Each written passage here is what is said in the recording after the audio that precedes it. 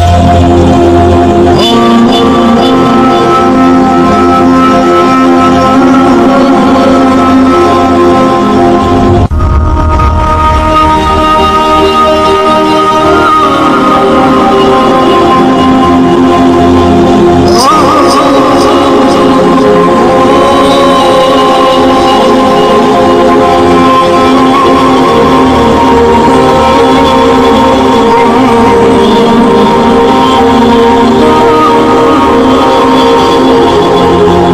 يا أيها الذين آمنوا استعينوا بالصبر والصلاة.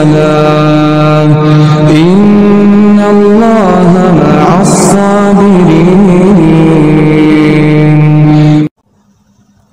اے ایمان والو، مدد لیا کرو، صبر اور نماز کے ذریعے.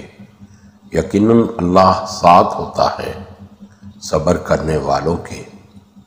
اللہ رب العزت سے دعا ہے کہ قرآن اور حدیث پر چلتے ہوئے فرقہ واریت کی لانت سے باہر نکلنے کی توفیق عطا فرمائے۔ آمین یا رب العالمین۔ السلام علیکم ورحمۃ اللہ وبرکاتہ۔